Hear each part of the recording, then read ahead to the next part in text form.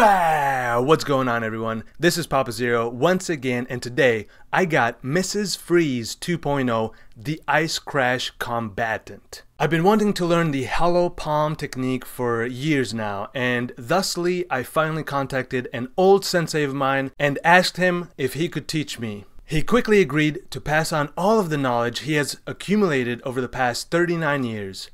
He was extremely willing because his dojo was running quite low on divine orbs. I told him I didn't have any coin or orbs to pay him with, but I could potentially pay him with geese, and so he quickly came to the conclusion that I was to never contact him ever again.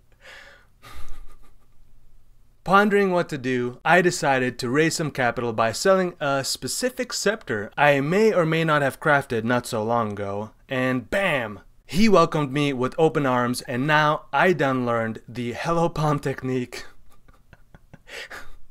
not to be confused with the Hollow Palm. Anyways, I tested all the skills that worked with it and found Ice Crash to be the most satisfying, though Consecrated Path was close second. On this build, I'm stacking Dexterity because of the one with nothing jewel of course, but I'm also stacking Evasion Rating and Armor, which provide a nice defensive layer, but thanks to a 15 Chaos Belt that I bought, they provide me with some offensiveness as well. Don't worry, I shall reveal the belt in 43 seconds. Production, put the counter on the screen, please. Top right corner. You you won't? No, okay. We don't have budget for that? Okay, got you. I am using the Dancing Dervish Reaver two-hander sword just for the taunting, blinding, maiming, and cooling utility. Since I'm using it, sometimes especially at a boss where I have to wait a few seconds before I'm allowed to attack, my rampage disappears and my DPS drops by like 95% because of the fact that Hollow Palm is not being used because I have the sword equipped. So in some ways it feels almost like poison because of the ramping so to speak on bosses or when my rampage ends. That being said, and as you've seen in the video already, as soon as I hit the boss a few times and the rampage stacks appear again, all is fantastic. Defensively, between having 30k armor and evasion, which feels pretty good already, I have Taste of Hate Flask, Watcher's Eye Jewel, kick-ass armor, and a helm which converts a total of 47 physical damage taken as cold. And thanks to Purity of Ice, I have 81% cold resistances with 27 less cold damage taken, again thanks to Taste of Hate. And on top of that, I have 45 for the first time in 94 builds built into the build. Yeah, build, build, build, build, build. Oh yeah! And I'm actually using Warlord's Mark. Is this thing on?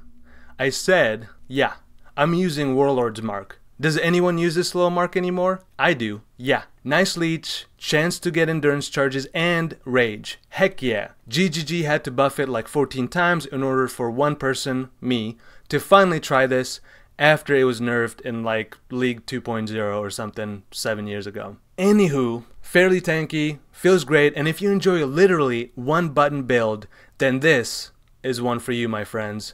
Try it, test it, let me know how you like it. Alright, what do we got for gear? Dancing Dervish sword that we want to throw on the ground as fast as possible.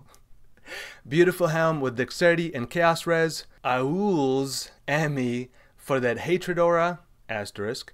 Sexy armor I bought week one of the league. Pretty unique TBH. Rings I crafted myself, not too shabby.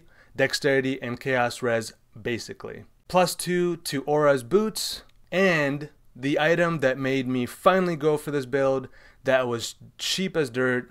Yup, Perseverance with two amazing implicits. They were practically giving this belt away.